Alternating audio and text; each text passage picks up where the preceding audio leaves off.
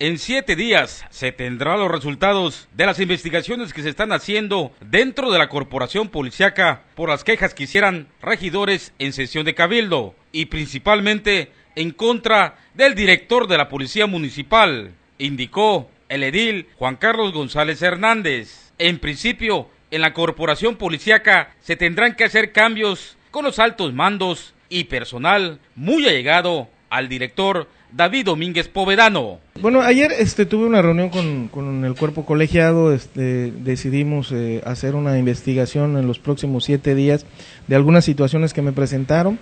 Este, eh, acordamos no dar eh, muchos datos de esto para no entorpecer las investigaciones. Realmente no son cosas que pudieran, creo yo, poner en riesgo este, el, el tener que destituir al jefe de la policía a lo mejor sí en algunos este, mandos este, muy cercanos a él, algunas este, situaciones que se habían estado dando ahí desde hace mucho tiempo que, bueno, a sentir de los regidores, ahora sí que, fueron llenando, digamos, el, vaso de agua y este se derramó.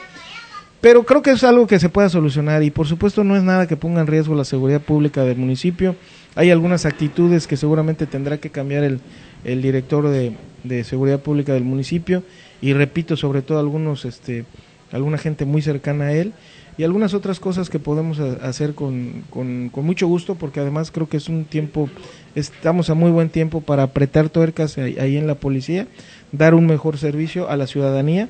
y por supuesto que este, evitar en un momento dado que se pudiera pensar que hay actos de corrupción. Más bien ahí este, fue una falta de comunicación, una falta de entendimiento, algunos este, eh, malos tratos que se dieron entre el director y algunos regidores, pero pues repito, no es nada que ponga en riesgo la seguridad pública del municipio. Cuando estamos hablando de la seguridad de, los ciudadanos de Cozumel, esto es un tema importantísimo para mí y no es algo de lo que podamos estar este, escuchando solamente o llevarnos, dejarnos llevar por chismes o por amenazas o por cuestiones particulares o personales, ni de los regidores ni tampoco del director. Entonces, este, sin embargo, eh, me comprometí a hacer esta eh, investigación y en menos de siete días tendremos resultados. ¿Continuará en el cargo? Bueno, hay, algunas este, eh, señalamientos que se están haciendo en, su contra. Si en este momento dado esto fuera al 100% cierto, pues podría en un momento dado venir la destitución. Pero creo que yo, creo que no este, vamos a llegar a, eso.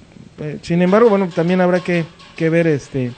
Asimismo, el alcalde cozumeleño Juan Carlos González Hernández comentó que la reunión que tuvo con los concejales del ayuntamiento es para pedirle su apoyo en cuanto a la Marina de Fonatur. Se tocó e-, ese punto y también el, tema de la, de la Marina Fonatur, ¿no? Los, los avances, cómo íbamos, cómo pudieran ellos colaborar para que algunas personas que, que no se han acercado a firmar su contrato lo hagan y